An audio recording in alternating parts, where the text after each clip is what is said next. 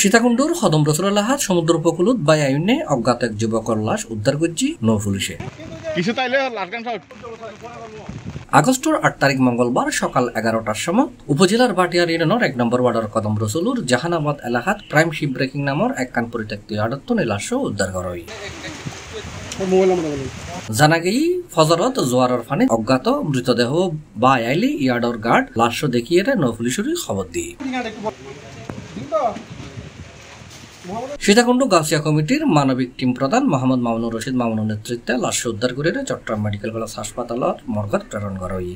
নৌপুলিশ আমাদেরকে সর্বপ্রথম কল করে কল করার পরে আমরা টিম রেডি করে গাছুয়া কমিটির মানবিক সদস্যদের নিয়ে আমরা চলে আসি লাশ উদ্ধার কাজে এবং আমাদের উদ্যতন কর্মকর্তার নির্দেশ ক্রমে আসি লাশ উদ্ধার করি আমরা। সর্বপ্রথম নৌপুলিশ উত্তন কল করে কল করার পর আর আর উদ্বোধন কর্মকর্তা কলটা জানাই সিনিয়র নেতৃবৃন্দ কলরে এরপরে তারা নির্দেশেই আরা আজ এই ঘটনাস্থলত নিদি আইয়েরে আরা লাশি উদ্ধার করি। শিবে সাগরে বাসি হচ্ছে আরা আইনের ফরত সাগর ফারত নীতি পাই। এর দূর তারা নৌ পুলিশের অনুরোধে আর লাশিবে সাগর ফারত উদ্ধার লাশ তিন হস আগাতন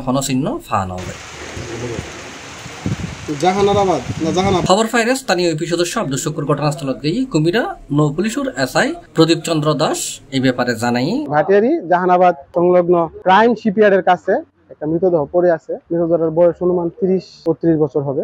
তো তো উক্ত সংবাদের ভিত্তিতে আমরা খবর পেয়ে প্রয়োজনীয় আইনানুগ ব্যবস্থা গ্রহণ করার জন্য ঘটনাস্থলে এসে উপস্থিত হই। ঘটনাস্থলে উপস্থিত হয়ে মৃতদেহের লাশের সুরত হাল করি। তো সুরত হালকালে লাশের শরীরে আমরা কোনো আঘাতের চিহ্ন দেখতে পাইনি এবং এটাকে অবহিত করি। লাশের ফিঙ্গারপ্রিন্ট নিয়ে যাতে তারা শনাক্ত করতে পারে। আমরা অনুমান করছি লাশটা পাঁচ দিন কিংবা সর্বোচ্চ ছয় দিনের হতে পারে। এই আর কি। লাশের গায়ে কোনো জামা কাপড় ছিল না। আহ, সম্পূর্ণ উলঙ্গ অবস্থা লাশটা পাওয়া যায়।